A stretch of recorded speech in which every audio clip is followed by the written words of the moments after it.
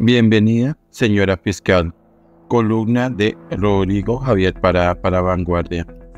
El pasado martes, finalmente la Corte Suprema eligió a la nueva fiscal general de la Nación, luego de algunas rondas de votaciones y a pesar de la introspectiva y tardía renuncia de una de las candidatas.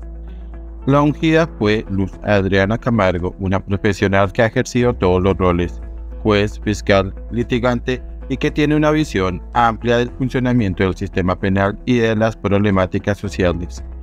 Llega a dirigir la entidad estatal más poderosa del país, pero también una de las más cuestionadas. La tarea que le espera a la doctora Camargo no es de poca monta. Desde su creación en 1991, la Fiscalía General de la Nación experimenta una situación preocupante los concursos de mérito que buscan garantizar que los cargos estatales sean ejercidos por los más cualificados son escasos a pesar de que existen órdenes judiciales que obligan a llevarlos a cabo. A través de encargos, nombramientos provisionales y traslados se hacen favores o se persiguen detractores.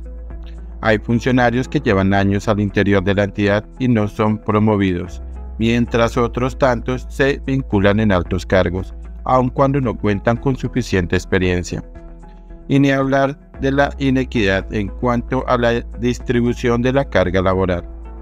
Seguramente me caerán rayos y centellas por esta afirmación, pero no puedo dejar de hablar de lo que es evidente, una especie de secreto a voces.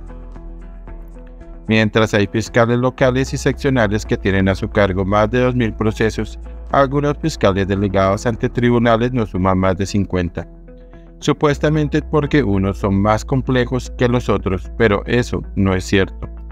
Quienes ejercemos a diario la profesión sabemos que por lo general los fiscales locales o seccionales investigan casos de difícil manejo enfrentando a numerosos abogados, casos que deben resolver incluso sin contar con funcionarios de policía judicial.